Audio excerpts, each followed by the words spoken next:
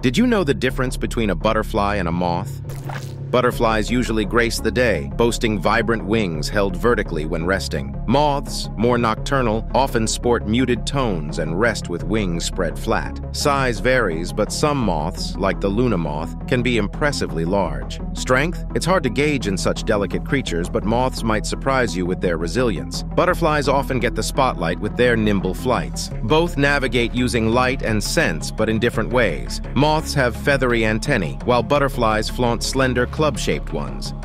So, with the dance of wings and colors in mind, which of these ethereal flyers enchants you the most?